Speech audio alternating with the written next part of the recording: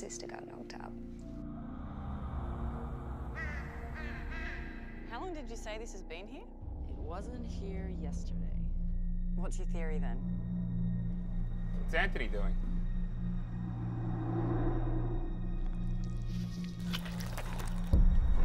Bill. Why is Mr. Butter standing like that? Bill, are you okay?